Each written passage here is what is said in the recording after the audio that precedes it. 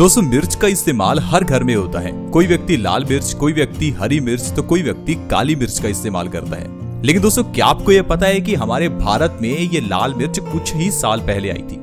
सदियों से हमारे भारत में लाल मिर्च का इस्तेमाल हुआ ही नहीं। हमारे भारत में काली मिर्च या फिर हरी मिर्च का इस्तेमाल ही होता था। लेकिन जब से ये लाल मिर्च हमारे घर में आई है, तब से इसने बहुत सी बीमारियाँ हर इंसान को लगानी शुरू कर दी हैं।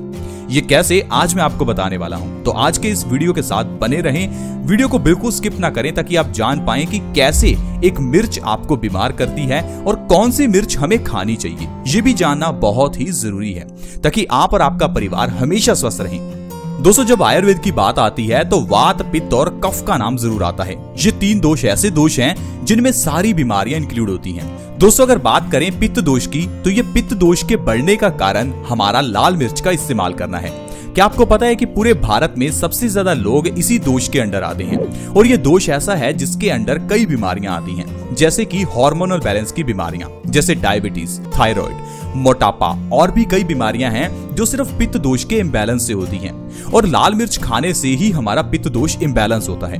इसीलिए हम आपको हमेशा कहते हैं कि अगर आपको तीखा खाना पसंद है तो प्लीज़ आप लाल मिर्च बिल्कुल भी ना खाएँ। तो अब आप कहेंगे, अगर लाल मिर्च ना खाएँ तो कौन सी मिर्च खाएँ? दोस्तों, वो मिर्च खाओ जो सदियों से हमारे भारत में इस्तेमाल हो रही है। वो मिर्च जिसे आयुर्वेद में एक औषधि कहा गया है, ना कि मिर्च।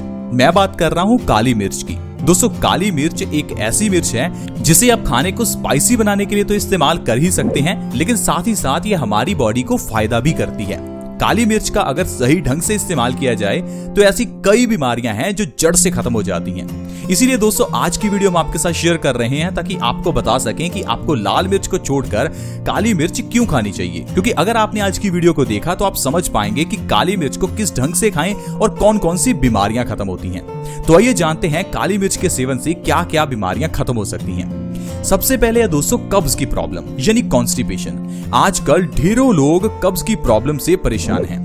कब्ज एक ऐसी बीमारी है जो सारी बीमारियों की जननी है। आयुर्वेद यही कहता है, कब्ज सारी बीमारियों की जननी है। यानी कि जिस इंसान को कब्ज है, उसे सौ से ज़्यादा बीमारियाँ आती हैं। इसीलिए आप हमेशा ध्यान रखें कि आपको कभी भी कब्ज की प्रॉब्लम ना हो। और अगर आपको कब्ज है तो इसका इलाज जल्दी से आयुर्वेदिक तरीके से कर लें, नहीं तो आपका शरीर बीमारियों से घिर जाएगा।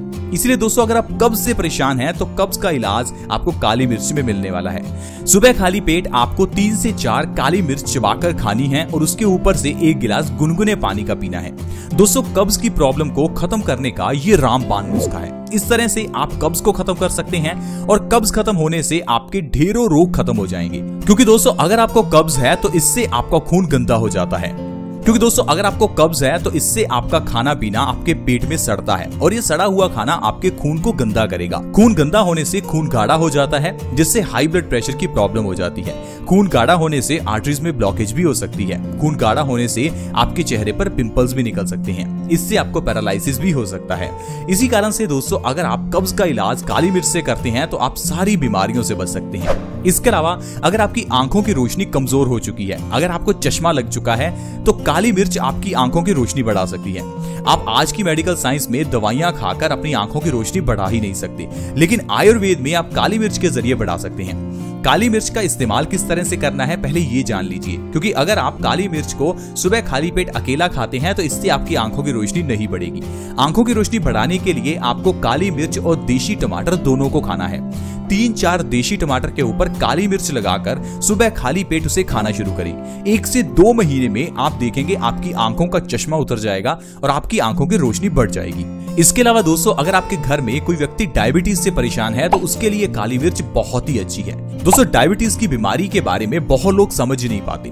दरअसल हम लोग किसी बीमारी को समझना चाहते ही नहीं है। अगर हमें सर्दी जुकाम भी होता है तो हम सीधा डॉक्टर के पास भागते हैं। ये जाने बिना कि हमें बीमारी हुई क्यों, बीमारी का कारण क्या है, क्या इस बीमारी की दवा वाकई अवेलेबल है? अगर बात करें सर्दी जुकाम की तो इसकी कोई दवा अवेलेबल नहीं है। लेकिन फिर भी आपको डॉक्टर दवाई देता है। आप खुद ही देखिए, जब भी आपको जुकाम होता है तो वो दो तीन दिन लगते ही हैं ठीक होने में। क्या ऐसा है कि दवाई आज ली और आज ही जुकाम ठीक हो गया? इसी कारण से दोस्तों, आपको पहले समझना चाहिए कि आपको डायबिटीज़ हुई क्यों। दोस्तों डायबिटीज़ का कारण है आपकी बॉडी में पित्त का बढ़ना, क्योंकि जो लाल मिर्च आप खाते हैं, वो हमारी बॉडी में हॉर्मोन्स को इम्बेलेंस करती है, जिससे कि हमें हार्मोनल इम्बेलेंस की बीमारियाँ हो जाती हैं, जैसे कि डायबिटीज़ थायराइड अगर आप लाल मिर्च को छोड़कर काली मिर्च का सेवन करते हैं तो इससे आपके हॉर्मोन्स बैलेंस होना शुरू हो जाते हैं। जिससे दो से तीन महीने में आपकी डायबिटीज़ बिल्कुल कंट्रोल में आ जाती है। अगर आप अपनी डायबिटीज़ को जड़ से खत्म करना चाहते हैं तो चार महीने लगातार काली मिर्च सुबह खाली पेट खाकर देखें और ऊपर से एक गिलास गुनगुने पानी का ज़रूर पिए। आपकी डायबिटीज़ चार महीने में जड़ से खत्म हो जाएगी। इसके अलावा बॉडी की इम्यूनिटी बढ़ाने के लिए काली मिर्च बहुत ही अच्छी है। दोस्तों, आजकल ये जो वायरस फैला है, इससे बचने का जो सबसे सरल और सबसे इम्पोर्टेंट इलाज है, वो है बॉडी के इम्यूनिटी को बढ़ाना। ताकि कोई भी वायरस अगर हमारी बॉडी पर अटैक करे तो हमारी बॉडी उसे लड़ने के लिए तैयार हो। बॉडी को तैयार करने के लिए बॉडी की इम्यूनिटी को बढ़ाना ज़रूरी है। इसके लिए वो खाएँ जो आपकी बॉडी की इम्यूनिटी को बढ़ाए, जैसे कि काली मिर्च। अगर आप सुबह खाली पेट हर रोज काली मिर्च खा रहे हैं तो इससे आपकी बॉडी की इम्यूनिटी दो गुना से तीन गुना हो जाएगी। जिससे कि आपको आजकल के वायरसेस से लड़ने में भी मदद मिलेगी। आप और आपका परिवार काली मिर्च का इस्तेमाल आजकल के इस वायरस से बचने के लिए भी ज़रूर करें। इसके अलावा अगर आपके घर में किसी को हाई ब्लड प्रेशर की प्रॉब्लम है तो इसके लिए हो सकता है वो कई सालों से दवाई खा रहे हों। लेकिन उनको दवाई खाने की ज़रूरत नहीं है, वो काली मिर्च गुनगुने पानी के साथ सुबह खा सकते हैं। इससे एक से दो महीने में उनकी हाई ब्लड प्रेशर की प्रॉब्लम जड़ से खत्म हो जाएगी। इसके अलावा अगर आपको गैस या फिर एसिडिटी की प्रॉब्लम हो तो एक गिलास पानी में थोड़ी सी काली मिर्च और नींबू डालकर उसका सेवन सुबह खाली पेट करें। ऐसा लगातार एक हफ़्ता करने से ही आपकी गैस और एसिडिटी की प्रॉब्लम खत्म हो जाएगी। क्योंकि दोस्तों, गैस एक ऐसी बीमारी है जिससे आपको कई बीमारियाँ होती हैं। गैस को हम वात दोष भी कह देते हैं। अगर आपको वात दोष है तो इससे आपकी बॉडी में बहुत दर्द हो सकता है। अगर आपकी बॉडी में कहीं भी दर्द है तो उसे खत्म करने का तरीका है बॉडी में से गैस को खत्म करना। और गैस खत्म करने के लिए काली मिर्च बहुत ही अच्छी है। इसके अलावा दोस्तों, काली मिर्च एंटीऑक्सीडेंट से भरपूर होती है।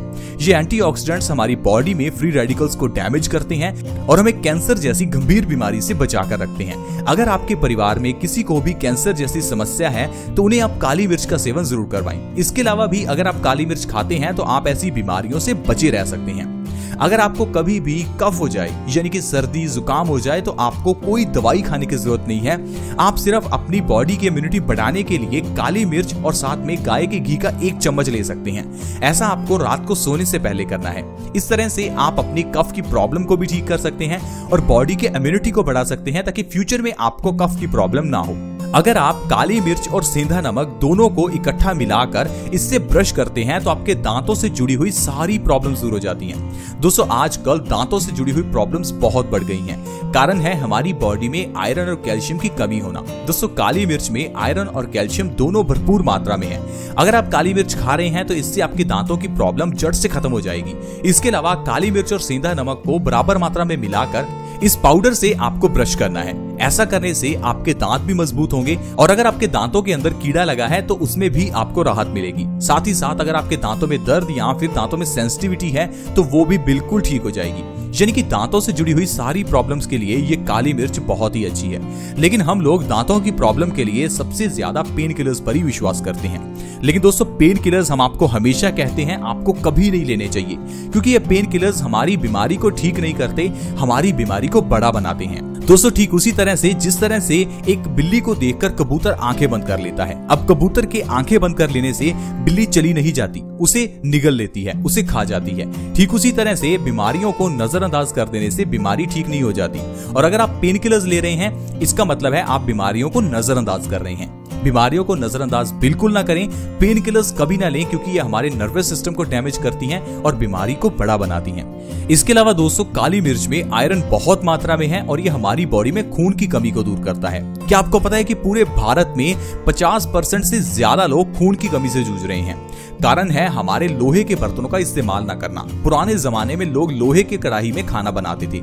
इसी कारण से खाने में आयरन का कंटेंट बढ़ता था और बॉडी में खून की कमी होती ही नहीं थी। लेकिन आजकल के हमारे खाने में आयरन है ही नहीं। साथ ही साथ हमने आयरन के बर्तनों का इस्तेमाल करना भी बंद कर दिया, क्योंकि हमें वो बर्तन धोने मुश्किल लगते हैं। हम लोग नॉन स्टिक के बर्तन इस्तेमाल करते हैं। इसी कारण से बॉडी में खून की कमी हो जाती है और खून की कमी होने से हमारे बाल झटते हैं, चेहरे पर झुर्रियाँ आ जाती हैं, आँखों की रोशनी कमज़ोर हो जाती है लो ब्लड प्रेशर की प्रॉब्लम हो जाती है बॉडी में आलसपन आ जाता है। और भी ऐसी कई बीमारियाँ हैं जो सिर्फ़ खून की कमी के कारण होती हैं। अगर आप सुबह खाली पेट तीन से चार काली मिर्च खाकर ऊपर से गुनगुना पानी पीते हैं तो एक महीने के अंदर अंदर आपकी बॉडी में से खून की कमी बिल्कुल खत्म हो जाएगी।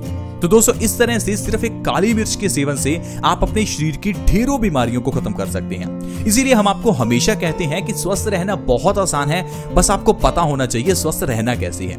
और बहुत से लोग ये कहते हैं कि, सर, हमारे पास समय नहीं है। मैं आपको हमेशा कहता हूँ, अपने शरीर के लिए आज समय निकाल लें नहीं तो कल आपको बीमारियों के लिए समय निकालना पड़ेगा।